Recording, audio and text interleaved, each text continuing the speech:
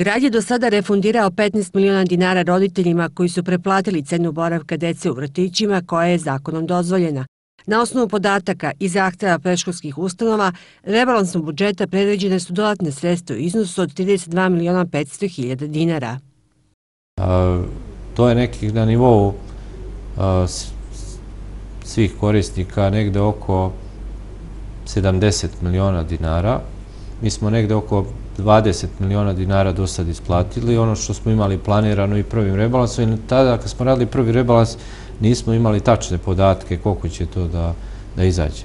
Tako da, ovaj, gotove su te analize ovaj, i ono što će ići sudskim putem i mirnim poravnanjem, mi ćemo ovaj, obezbediti ta sredstva i u roku možda od sedam dana od rebalansa budžeta koji se očekuju u novembru, biti ovaj, isplaćeni ovaj, svi korisnici. Drugi razlog za rebalans budžeta je usklađivanje sa izmenama zakona o budžetskom sistemu. Po novim pravilima javna preduzeća gube status indirektnih korisnika budžeta i moraju se finansirati na drugi način. To se u Čačku odnosi na najvećeg budžetskog korisnika javnog preduzeća Gradac.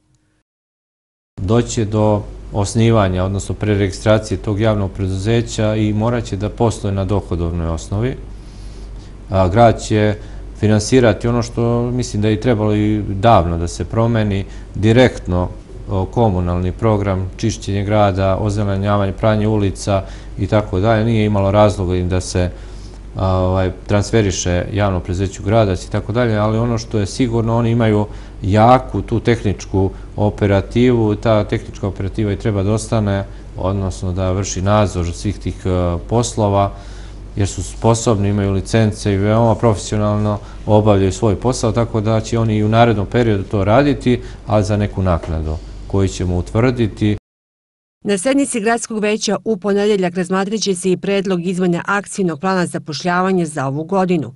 Predlaže se povećanje sredstava za subvencije poslodavcima za zapošljavanje na novo otvorenim radnim mestima u iznosu od 9 miliona 100 hiljada dinara.